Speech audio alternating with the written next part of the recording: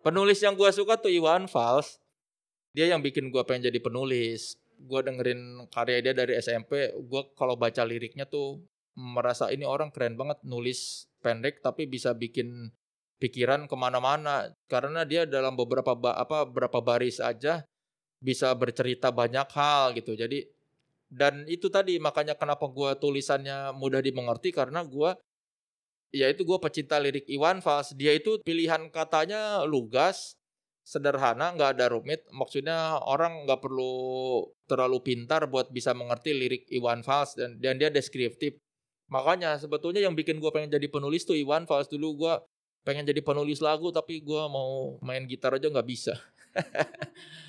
Makanya gue pilihan kata gue sederhana tuh gue rasa kalaupun ada pengaruhnya ya dari Iwan Fals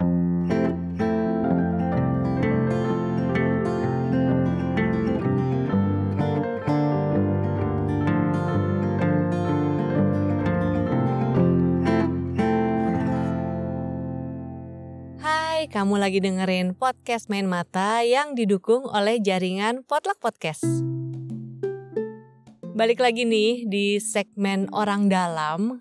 Kali ini episode yang spesial banget buat aku. Soalnya aku bisa ngobrol dengan jurnalis, komika, dan penulis buku juga yang aku suka banget. Dia adalah Mas Soleh Solihun. Jadi sebenarnya awalnya sih aku ngajak ngobrol Mas Soleh itu untuk keperluan jadi narasumber di dalam buku yang lagi aku garap nih bareng teman-teman di dalam jaringan potluck. Bukunya itu tentang cara membuat podcast untuk pemula.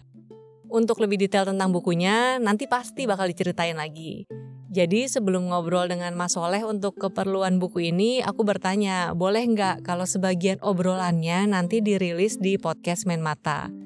Dan ternyata dia oke, jadi deh episode ini. Di sini Mas Soleh cerita tentang penulisan, prinsip-prinsip yang dia pakai ketika menulis, baik itu menulis sebagai jurnalis, kemudian ketika menulis buku, lalu juga menulis skenario, dan tentu saja sebagai komika. Selain itu, Mas Soleh juga berbagi cerita soal di balik The Soleh Solehun interview, ada tentang wawancara, kemudian juga tentang proses bikinnya. Mungkin kita langsung aja dengerin ya. Oh iya, by the way, waktu itu kami berdua rekaman langsung di tempat dan supaya tetap mematuhi protokol kesehatan nih, waktu itu rekamannya kami berdua tetap pakai masker. Jadi harap maklum kalau suaranya agak mendem, terutama kayaknya suaraku sih, soalnya aku pakai masker dua lapis. Cuma mudah-mudahan nggak mengganggu kamu untuk tetap menikmati kontennya ya. Kita dengerin yuk sekarang. Halo Mas Soleh, apa kabar? Halo Peti, kabar baik? Kabar baik ya? Sehat-sehat nih? Alhamdulillah sehat. Oke. Okay. Uh, eh, waktu kuliah kan Mas Soleh kan kuliahnya jurnalistik. Iya. Vkom Unpad ya? Iya. Gue baca buku Kastana Taklukan Jakarta tuh. Hmm, wah jarang tuh yang baca. Emang iya? jarang. Nggak laku bukunya. Masa sih?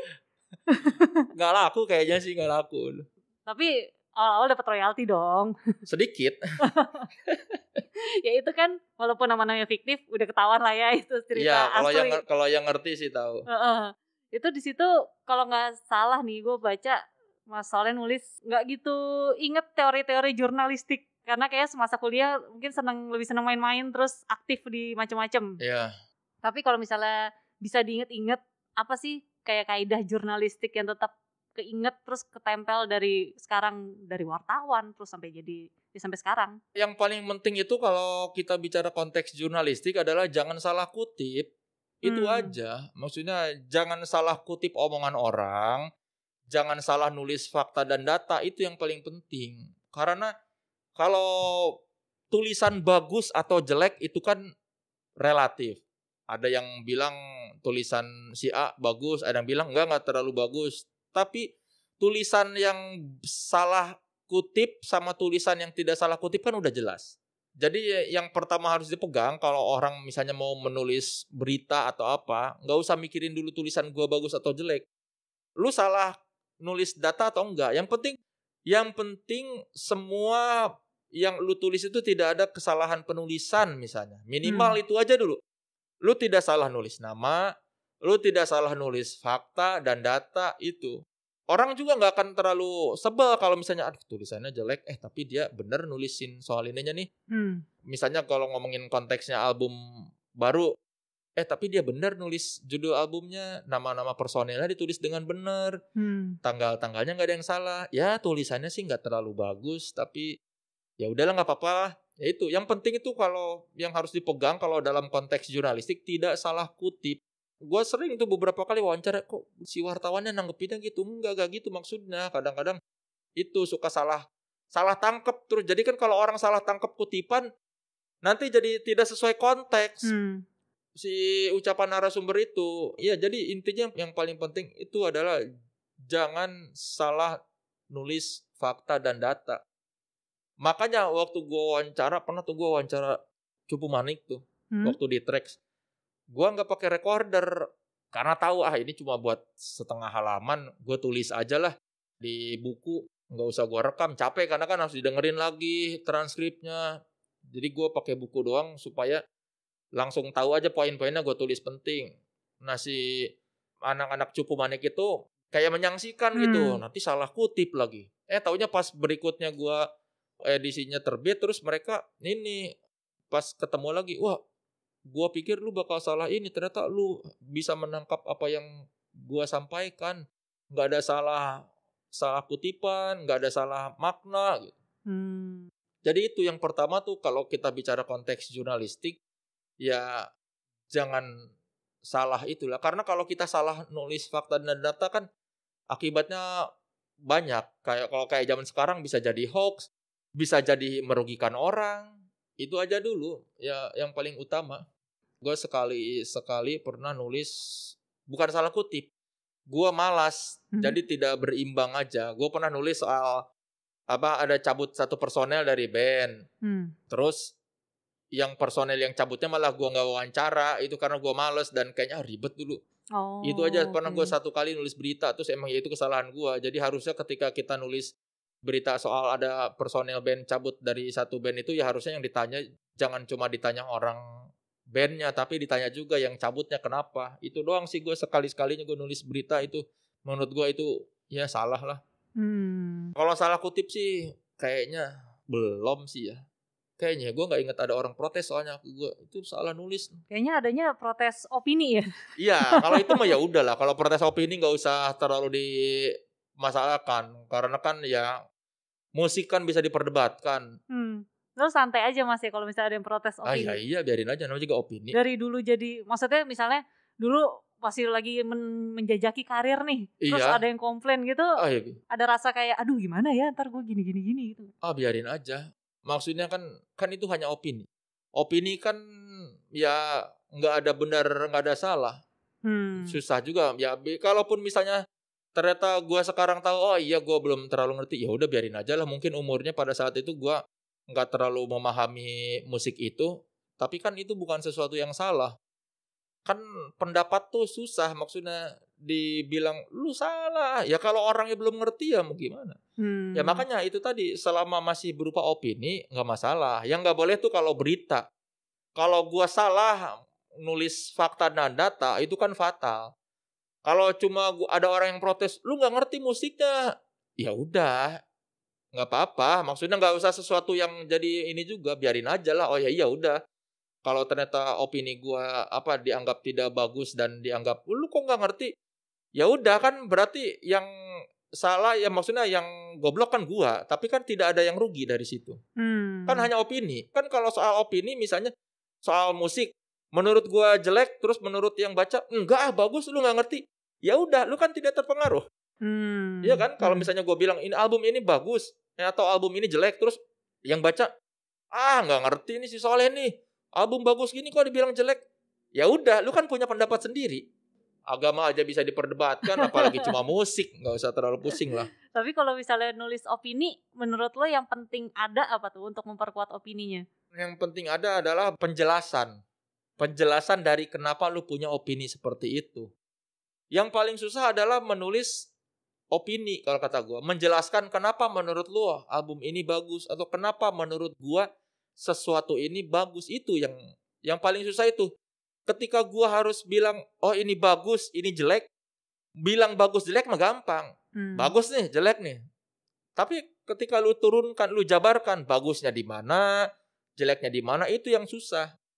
Minimal harus punya pembanding atau minimal lu bisa bilang sesuatu bagus karena lu sudah pernah membandingkan dengan yang lain. Itu kan Hmm. yang susah tuh. Lu bisa bilang ini bagusnya di sini. Misalnya kayak kalau lu bilang kaos ini bagus. Ya kaosnya bagus. Bagusnya dari apa? Misalnya bahannya enak. Bahannya mahal nih. Polanya bagus, jahitannya juga oke, sablonannya enak, nggak bikin gerah atau desainnya bagus. Cuttingannya pas nih. Kayak gitu. Jadi lu bisa bilang sesuatu bagus atau sesuatu jelek tuh disertai penjelasan. Argumennya harus ada penjelasan itu yang susah ya. Salah satu yang paling susah yaitu itu menulis opini. Terus kalau aplikasi, ya mungkin aplikasi ilmu ya semasa kuliah, perbedaannya apa sih ketika menulis jadi wartawan? Iya. Terus kan sempat nulis skenario juga, Ya, terus stand up comedy, itu kan semuanya berbasis penulisan Iya. sebenarnya. Itu aplikasinya gimana sih mas? aplikasinya kalau di kuliah itu ya gua yang paling kerasa ya nulis buat media massa sih jadi wartawan karena kan gua belajar nulis ini apa nulis berita Hmm. yang paling terasa ya nulis berita tapi kalau gua di kuliah jurnalistik di Komunpar kan selain nulis berita juga gua belajar nulis opini Hmm. ya aplikasinya ya kerasa karena intinya dari gua nulis berita nulis skenario misalnya apa bikin materi stand up intinya kan satu sama orang harus mengerti apa yang lu bicarakan. Ketika lu nulis berita lu yang baca harus ngerti ini lu mau nulis tentang apa. Ketika lu bikin skenario film yang nonton harus ngerti ini ceritanya tentang apa sih? Hmm. ketika lu ngelawak orang harus ngerti dulu supaya orang bisa tertawa. Ya inti dari semua itu adalah bahwa apa pun bentuk tulisannya orang harus mengerti apa yang lu sampaikan. Kalau dari segi gaya lo menulis, apa yang selalu lu jaga ketika lagi bikin apa eh, berbagai format penulisan ini? gua selalu menjaga supaya tulisan gua tidak rumit bahasanya. Tidak usah pakai pilihan kata yang terlalu mutakhir. Jadi orang ya nggak perlu pinter-pinter amat buat mengerti tulisan gua gitu aja lah. Beda kalau kita baca catatan pinggir Gunawan Muhammad kan Ah, iya. kayaknya orang harus pinter dulu baru ngerti apa ini maksudnya apa ya? Karena kalau kayak gue baca itu ini maksudnya apa sih? Nggak ngerti gitu. Prinsip yang gue pegang yaitu harus sederhana aja pilihan katanya dan jangan ada pretensi untuk terlihat mau terlihat pintar. Ada beberapa penulis terutama penulis baru yang kelihatan nih orang kayak pengen banget kelihatan banget dia pinter tapi jadinya malah bikin bingung ini maksudnya mau ke mana sih Hmm. kalau gua sih gitu, prinsip yang gua pegang pilihan katanya sederhana, jangan yang terlalu mutakhir dan lugas.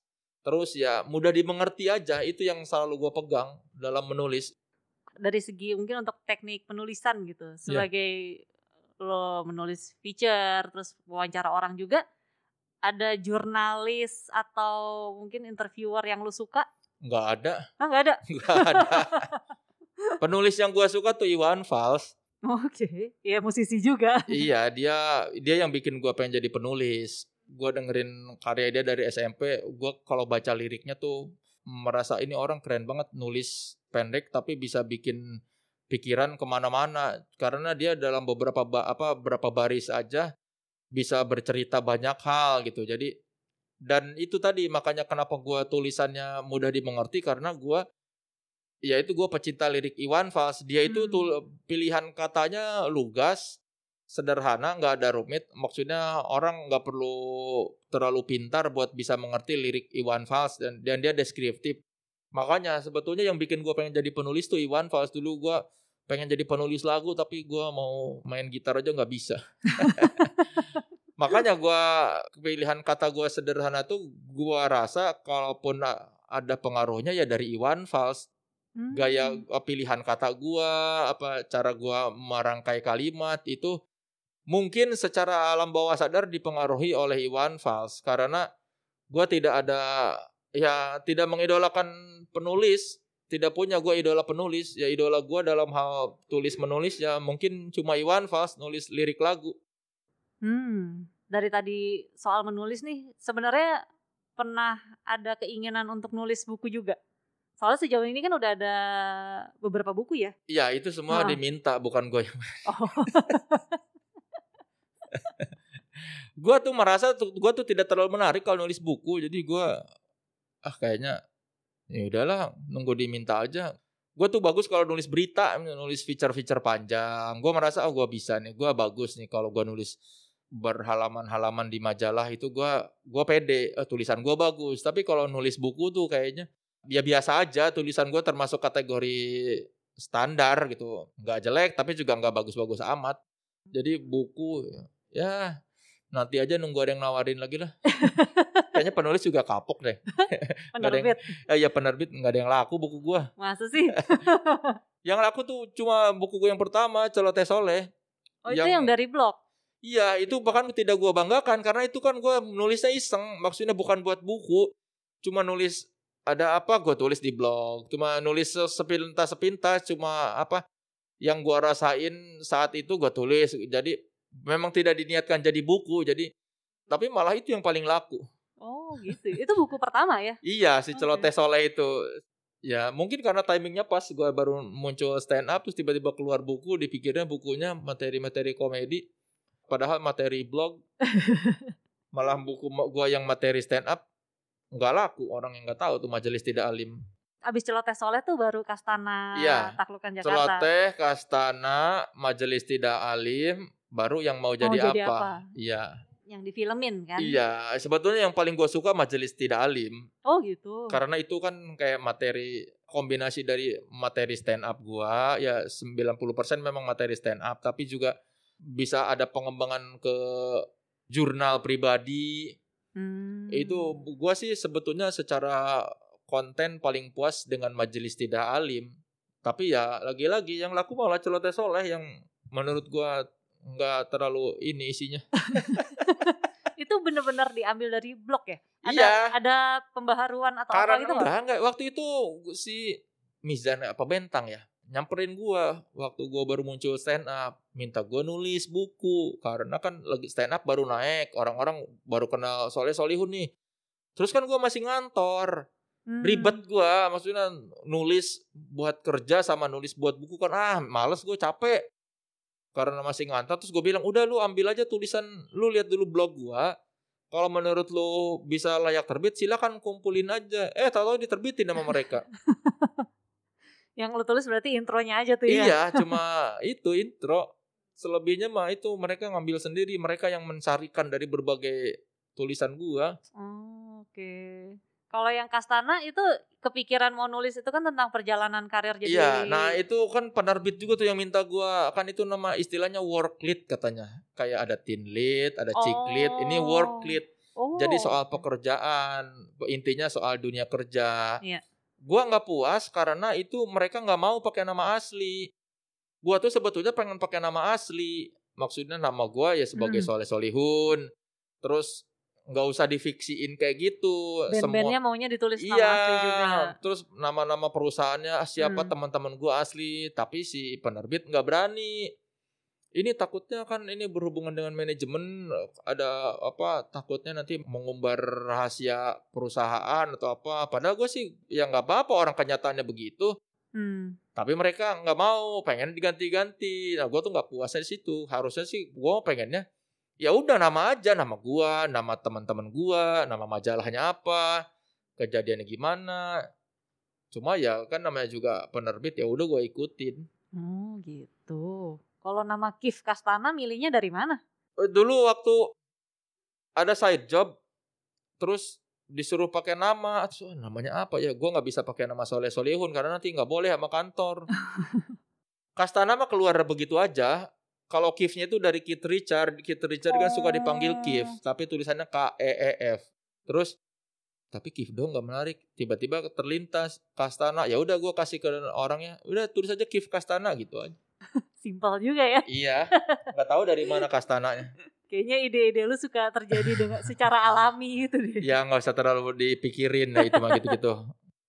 Gue mau nanya-nanya soal wawancara. Ah iya. Jadi dari dulu awal karirnya Mas Soleh kan sebagai wartawan. Iya. Terus sampai sekarang bikin format wawancara video, terus juga untuk The Soleh Solihun interview, itu juga ketika ditonton tuh masih memang terasa tetap tajam, terus enak didengerin juga, enak ditontonin gitu. Nah, pas gue sempat baca-baca di The Soleh Solihun interview itu lo bilang lo memang mengundang narasumber yang cukup dekat ya. Iya. Ha-ha. Kalau boleh tahu kriteria dekatnya tuh sedekat gimana sih? Akrab, maksudnya bisa bercanda lah. Bukan yang dekat dalam arti bersahabat atau apa udah akrab banget bertahun-tahun enggak. Minimal kalau yang di The Soleh Solihun interview itu gue udah pernah nemuin bercandanya enak sama dia. Pernah ketawa bareng. Oh ini orang bisa nih gue ketawa bareng. Hmm. Cuma si Petra si Hombing yang gue belum pernah kenal, yang gue wawancara belum pernah ngobrol, tahu-tahu gue wawancara. Selebihnya sih gue udah pernah bercanda. Oke. Maksudnya ngerasa oh orang itu tahu gue bercandanya kayak gimana dan gue udah nyaman apa bisa ketawa bareng lah. Hmm, oke. Petra si Hombing doang yang waktu itu minta diwawancara terus oh gue belum pernah kenal terus ya udah gue gue okein. Oh dia minta waktu itu. Ya manajemennya kan pengen minta diwawancara karena sekalian ada promo buat album atau single gitu. Terus gue gue okein karena gue suka permainan gitarnya jadi ya udahlah. Hmm. Kalau waktu sama Petra berarti bedanya apa nih ketika lo wawancara orang untuk yang The Solihun interview Iya. ya, yang udah lo kenal akrab sama yang belum persiapannya kayak gimana tuh? sama aja.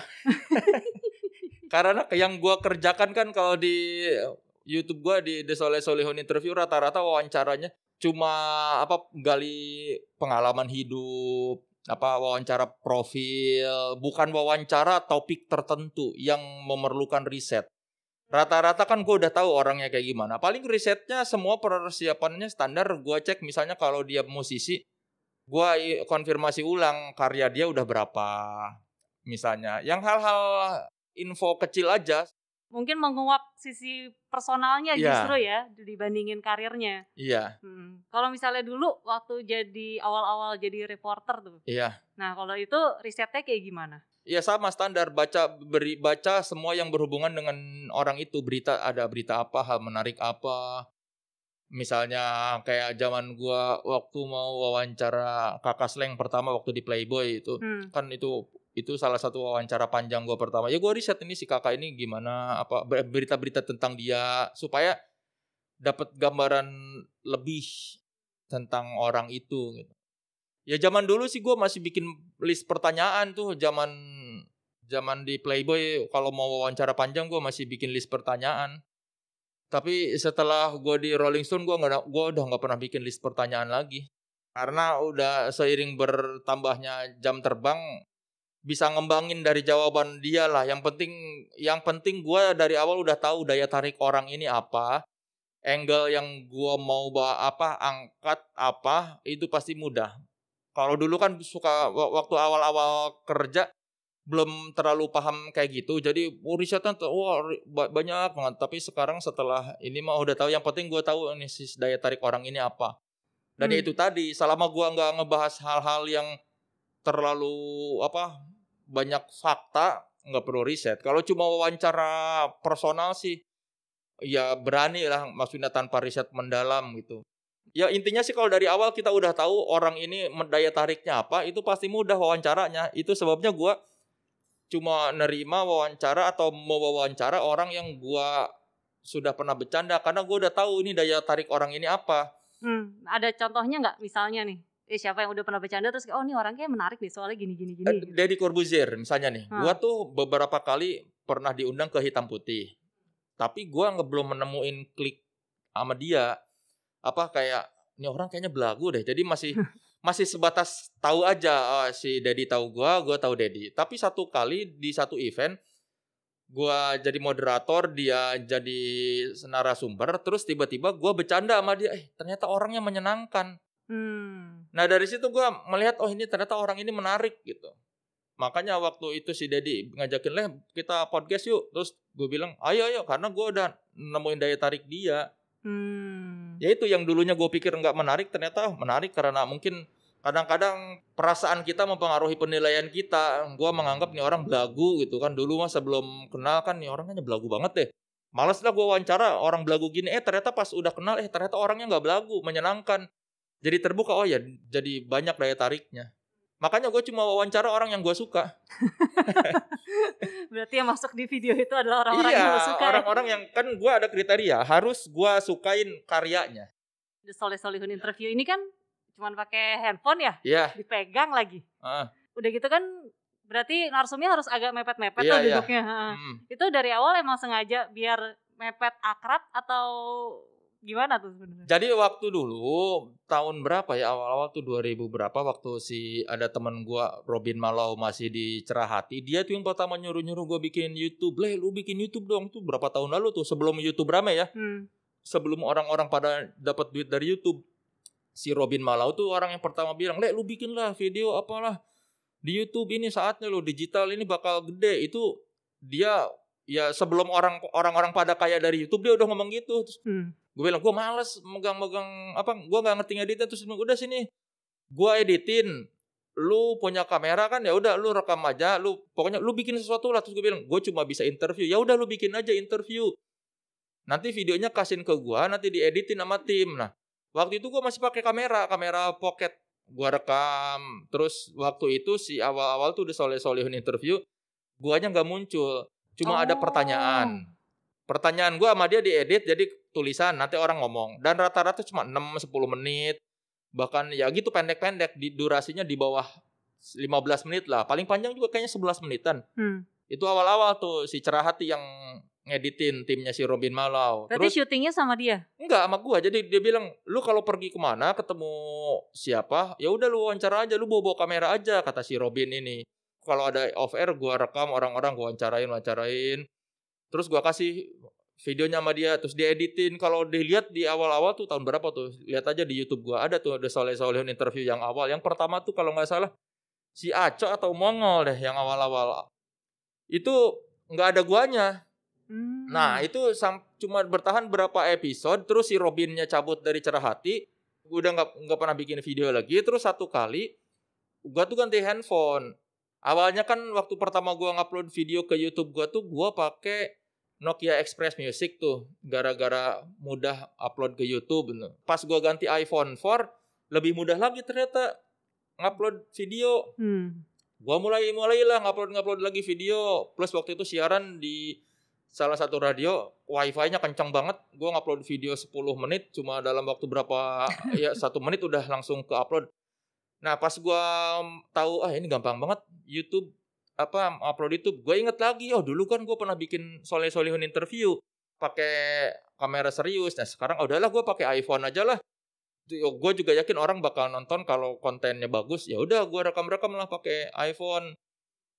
Awalnya yang awal-awal juga setelah setelah fase gue pakai kamera itu gue pakai handphone tapi guanya di belakang Hmm, kalau kelihatan. iya coba lihat di YouTube gue itu ada di awal-awal ada guanya nggak nggak muncul Oh, apa oke. kayak wawancara si Abdur Pongki si siapa banyak lah yang awal-awal tuh guanya nggak muncul gue cuma kedengeran suara dan itu juga cuma 6 menit 5 menit 10 menit seadanya aja lagi di di sela-sela syuting gue wawancara terus saat pertama kali rek, gua ngerekam video hadap-hadapan itu pas gua syuting film gua mau wawancara Monty Tiwa sutradara. Hmm. gua waktu itu lagi syuting Sai Sai Cat. Pas gua mau wawancara Monty gua nggak ada du nggak ada kursi buat duduk. Di depannya dia tuh ah ini gimana sih? Gua jongkok. Males apa kalau gua jongkok terlalu angle-nya terlalu bawah si Monty duduk di kursi nanti terlalu dongak kamera gua. Akhirnya ya udah Mon geseran. Gua duduk di sebelah Monty. Cuman kan kalau duduk di sebelah terus kalau kameranya tetap kamera belakang gua kan nggak ngelihat frame-nya apakah masuk atau enggak akhirnya ya udahlah gua pakai kamera depan buat memastikan bahwa frame-nya bener. Dari situ eh ternyata enak nih wawancara begini. Nggak apa dempet-dempetan. Kalau muka kelihatan jadinya entah kenapa psikologis narasumber juga jadi ngerasa lebih nyaman akhirnya dari sejak gua wawancara Monty sa- sampai sekarang ya udah gua begitu konsepnya. Terus langsung format panjang juga akhirnya. iya. Langsung format ah serius aja lah. Gua kayaknya menyenangkan. Awalnya kan cuma iseng terus lama-lama gua ketagihan karena gua seneng prosesnya. Terus berarti habis itu udah ngedit sendiri lah ya, nggak dipotong iya apa pun. cuma diketambahin aja tulisan soleh-solehin interview. Gua motong kalau misalnya abis ngobrol terus eh yang tadi jangan dimasukin dong gua nggak enak takut ada yang tersinggung ya gue cari dulu cuma dipotong gitu doang. Lagian kan orang suka ngomong nggak diedit nggak diedit. Ngedit itu kepentingannya buat apa? Apakah supaya tuh apa wawancaranya dragging jadi apa yang dragging kepotong atau biar lebih singkat atau apa? Nah gue kan tidak ada kebutuhan itu. Gue memang pengen nampilin wawancara gue dari awal sampai akhir biar orang tahu nih di menit-menit ini kalau orang jeli bingung nih lagi lagi nyari pertanyaan atau udah mulai capek nanyanya Nah itu lo mau nunjukin itu juga ya? Iya biarin aja ya wawancara begini. Terus lagian juga ya gue males lah editnya dia capek. Gue melakukan ini bukan karena duit, maksudnya bukan karena kerja. Ngapain gue mesti rapihin? Hmm. Terus ya biar biar orang lihat aja nih wawancara tuh kayak gini. Terus tuh megang megang kamera sejam dua jam tuh pegel gak sih? Enggak, kalau megang kamera gini nih.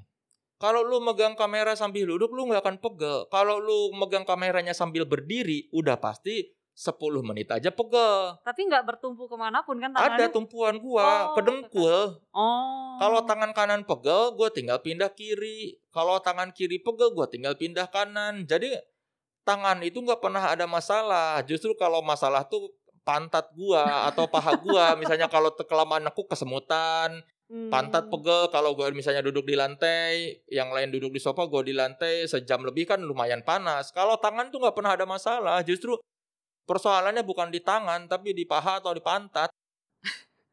Udah gitu ngadepnya satu sisi terus lagi ya? iya, tangan mah santai. Orang tuh suka salah fokus. Oh, iya. tangan tangan tangan enggak tangan itu enggak akan enggak enggak akan pegel gue nggak pernah ngerasa beres wawancara anjir pegel banget enggak justru kalau pantat sama paha baru udah kesemutan nah itu Selama ini kan lo mau wawancara orang bisa menciptakan kedekatan tuh. hmm. Kalau misalnya dulu waktu jadi awal-awal jadi reporter nih interview mereka, gimana sih caranya bikin mereka tuh jadi ngerasa nyaman ya? Bahkan kan kayak Iya. kayaknya gara-gara dari awal-awal itu juga lo akhirnya jadi temen juga kan sama Iya. mereka. Heeh. nah ini memang salah satu ya salah satu apa ya maksudnya rezeki gue adalah ketika gue mulai bekerja sebagai wartawan gue selalu ada di media yang kredibel selalu ada di media yang terpandang. Gue masuk di MTV Track. Itu kan di industri musik itu terpandang Iya. majalah bagus terus ke Playboy terus apalagi ke Rolling Stone. Jadi kalau seseorang yang bukan siapa-siapa terus ingin mencari nama atau ingin mendapatkan kredibilitas itu dia memang alangkah lebih baiknya atau bakal lebih mudah kalau dia bekerja dari institusi yang ternama Hmm. Makanya meskipun gue waktu awal masuk MTV Tracks, gue pertama kali wawancara Gigi tuh, yang band yang pertama gue wawancarain. Kan mereka belum tahu siapa gue. Gue juga wartawan baru banget. Tapi kan mereka dengan senang hati mendatangi wa- wawancara itu karena medianya bagus. Titik awalnya itu kalau kita bukan siapa-siapa dan kita bekerja di media yang bagus itu bakal lebih mudah untuk mencairkan suasana dan untuk menambah kredibilitas. Tapi yang kedua tetap kalau orang yang nggak bagus ya nggak akan diingat juga.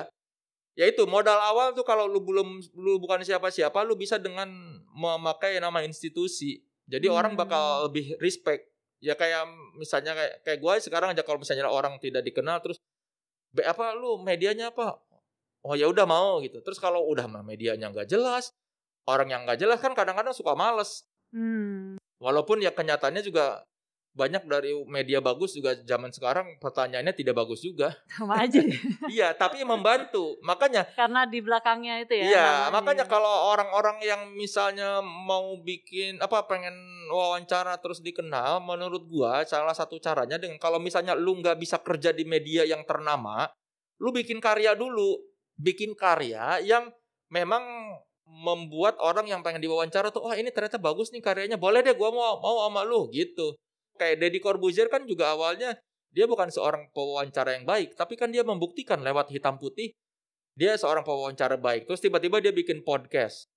Podcastnya ternyata banyak yang nonton dan apa wawancaranya menarik. Jadi orang-orang pun bukan cuma ngelihat si Deddy Corbuzier tapi dia keren tahu oh ini karyanya menarik nih. Hmm. Minimal kalau buat podcaster-podcaster baru bikin dulu lah karya yang menarik, misalnya podcast yang menarik sampai lu didengarkan banyak orang. Nanti juga orang mau kok kalau misalnya eh ini seru nih. Lo kenapa mau di interview buat potluck? Oh, gue lihat Instagram lu bagus. wah ini berarti bener nih. kan gue lihat dulu apaan sih podcast podcast. Ada beberapa yang minta gue wawancara, terus pas gue lihat.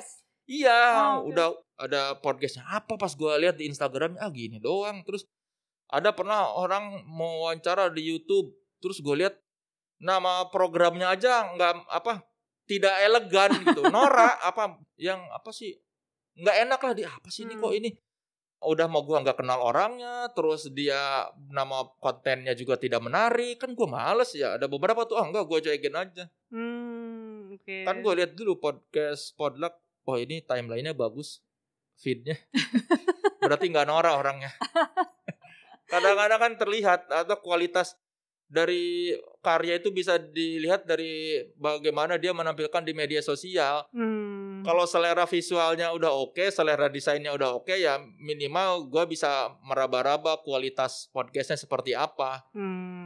Kalau dari pilihan kata apa pilihan nama podcast udah Nora kan malas juga apa sih ini? Kalau dari gaya lo bertanya atau mengulik gitu, antara lo dulu yang masih jadi reporter di awal-awal sama sekarang apa perbedaannya? Zaman dulu mungkin gua masih melontarkan kalimat pertanyaan yang panjang mungkin ya. Hmm?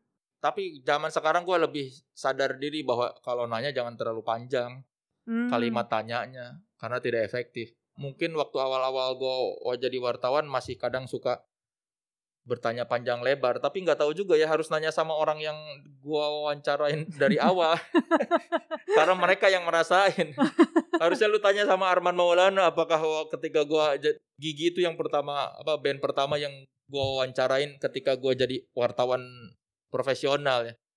Harusnya tanya Gigi, ada bedanya nggak gua wawancara dulu dengan wawancara sekarang sama oke. Arman? Dia dia pernah cerita nggak tapi dulu lu gini-gini Di, Gigi gini. itu selalu inget gua wawancara meskipun gua anak baru karena gua tuh dalam satu jam wawancara mengeluarkan kata ketika berapa kali.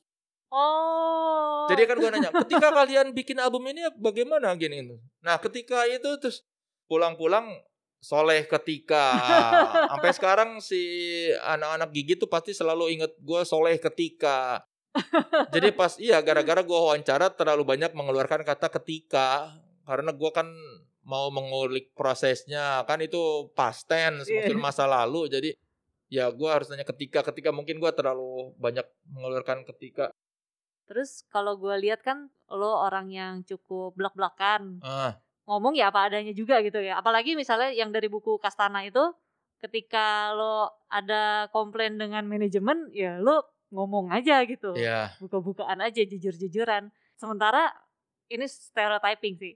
Misalnya karakter orang Sunda iya dan orang Jawa, apalagi kan nggak suka tuh yang frontal gitu. iya Itu apakah karena lo bisa kayak gitu? Apakah karena didikan orang tua atau gimana? Ya emang suka banyak yang bilang lu kayak bukan orang Sunda lu, apalagi gua ngomongnya kenceng kan, lu kayak orang Batak gitu. Banyak banyak kan beberapa kali mengira gua orang Batak karena Hmm. ngomongnya tidak pelan, kenceng dan to the point. Mungkin ya, mungkin didikan ya. Dari dulu selalu nyokap gua selalu bilang kalau ada apa di kelas jangan malu, ngomong aja misalnya. Hmm. Kalau diminta jadi misalnya ketua kelas atau apa nggak ngacung aja intinya nyokap gua selalu mengajarkan gua percaya diri dari SD itu kayak udah lu jadi pemimpin upacara, jadi ketua kelas, jadi apa Hmm. dan gua juga ya dari zaman SD, SMP ya terutama SMA sih maksudnya SMA kalau ada apa-apa ditanyain, ditanyain. Gua nggak menyadari Hmm. bahwa gua SMA udah begitu. Tapi pas kapan tuh si gua ada vlognya ah, sama Arman Maulana. Hmm. Si Arman tiba-tiba dapat kontak guru eh, wali kelas gua zaman SMA Hmm. Kok bisa?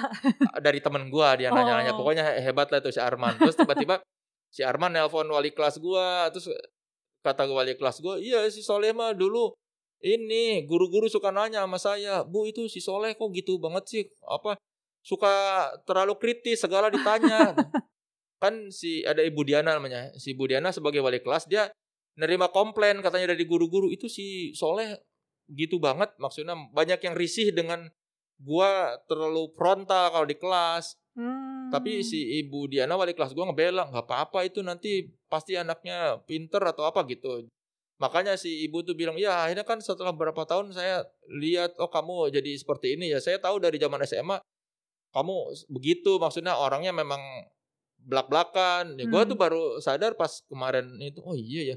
Gue nggak, gue sih nggak tahu. Gua menurut gue itu biasa. Kayak misalnya mau ngomong apa, gue omongin aja. Tapi orang kan kadang menganggap itu terlalu frontal. Hmm. Ya gue kadang-kadang ngomongin sesuatu tidak ada maksud menjatuhkan atau apa. Ya gue cuma pengen ngomong. Ya kalau masalah orang menanggapinya itu terlalu frontal ya kan gue tidak maksud. Ya makanya ketika gue kerja pun ya gue cuma pengen ngomong. Gue pengen menyelamatkan kantor. Gue pengen supaya kantor bagus ya gue ngomong yang gue nggak suka.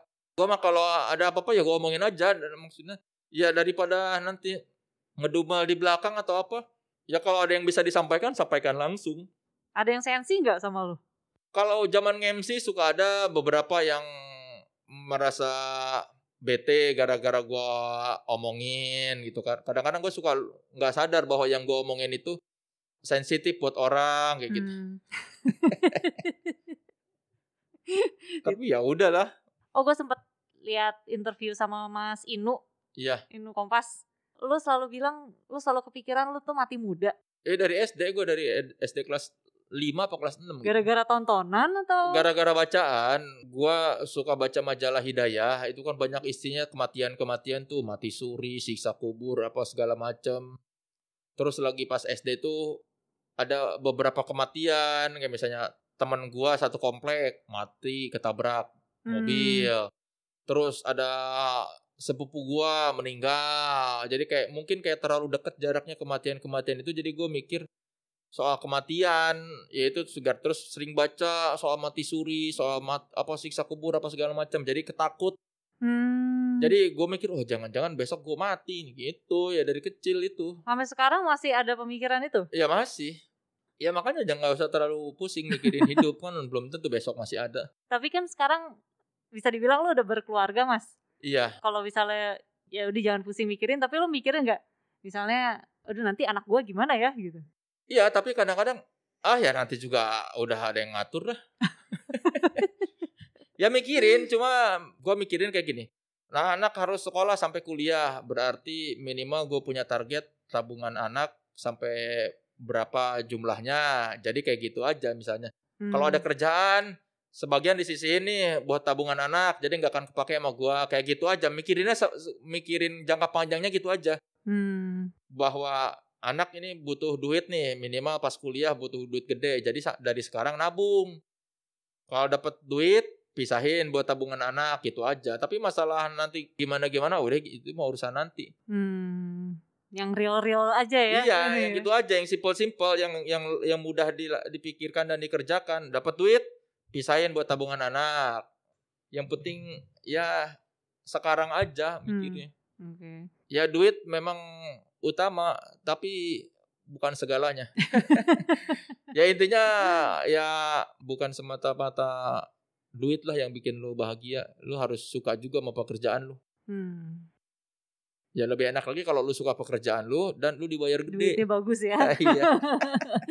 itu mungkin dulu mimpi-mimpi kalau jadi wartawan tapi duitnya oke gitu ya. Iya. Oke lah kalau begitu. Terima kasih Ya, Mas Soleh udah mau diajakin ngobrol. Sampai jumpa lagi. Semoga sehat-sehat terus ya. Iya, semoga bermanfaat ya. Dadah, Terima kasih. Dah. Segitu dulu bab kali ini. Kalau kamu suka dengan obrolannya, kami akan berterima kasih sekali jika kamu mau merekomendasikan podcast Main Mata ke teman-teman kamu yang suka baca buku. Caranya bisa dengan klik tombol follow di Spotify Podcast Main Mata, lalu share bab ini ke media sosialmu, mau di Twitter, Instagram, Facebook, apa aja. Kalau mau kasih saran atau masukan juga boleh banget. Bisa DM atau mention di postingan yang berhubungan dengan bab ini. Kalau misalnya Instagram bisa di @potluckpodcast atau di @patricia.wulandari. Kalau di Twitter bisa di @podcastpotluck atau di @patipatigulipat. Jangan lupa juga untuk dukung jaringan Potluck dengan subscribe di YouTube dan platform podcast lainnya. Untuk informasi lengkap seputar episode terbaru yang akan tayang dari channel-channel podcast yang ada, follow jaringan Potluck di Instagram @potluckpodcast. Sampai jumpa lagi. Dadah.